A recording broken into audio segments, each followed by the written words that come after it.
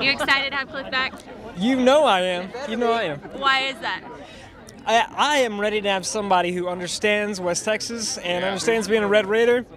I think we've, we've all been waiting for that for a while now. So we're ready. I'm just excited for the alumni to come back together and this reunites everybody in the fan base. I think this is a great opportunity for the you know to get your season tickets and come support Kliff Kingsbury. When I was in college, he was the quarterback, and I, I don't know, it just for that split moment took back me back to all those good memories of Texas Tech football when he was quarterback, and now he's our head coach. He wants to be here, and he wants to get us back united.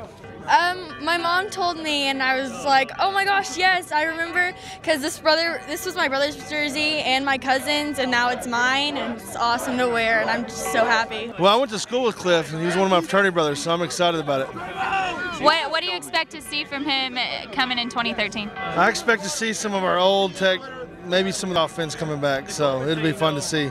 I think it means a lot. I mean, I've never seen so much enthusiasm on uh, Twitter. Everybody's saying I'm going to buy tickets to the to the bowl game. I think I might go to the bowl game now. So it's it's big. It's big. But we have spring practice to go to, so we can go watch that. We got all sorts of good stuff coming. Will you be in the seats every I will game? be there every game. All right, guns Thank up. you. Thank you. Yeah!